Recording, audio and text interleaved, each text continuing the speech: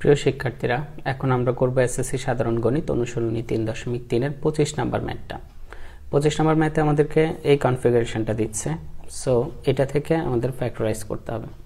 তো, এটার ক্ষেত্রে আমরা প্রথমে ফোর এ স্কোয়ারকে টু এ হোল স্কোয়ার লিখে ফেলতে পারি। একইভাবে এখানে one by two A whole square দিতে পারি। তারপরে মাইনাস টু এভাবে থাকুক।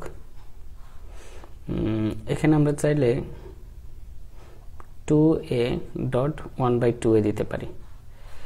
প্লাস এখানকার ফোর এ থেকে আমি যদি টু কমন নিই, তাহলে আমার থাকছে হচ্ছে two A minus two A by one মানে হচ্ছে কি টু কমন নাও মানে টু দিয়ে এটাকে ভাগ করা, আর টু দিয়ে ফোর একে ভাগ করলে টু এ থাকবে, আর টু দিয়ে এটাকে ভাগ করলে ওয়ান বাই টু এই হবে।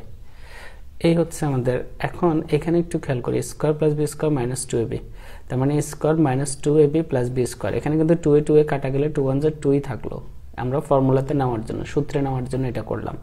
তাহলে আমরা square minus two A B plus B square সমান A minus B whole square লিখে ফেলতে পারি। Two A minus one by two A whole square লিখে দিলাম।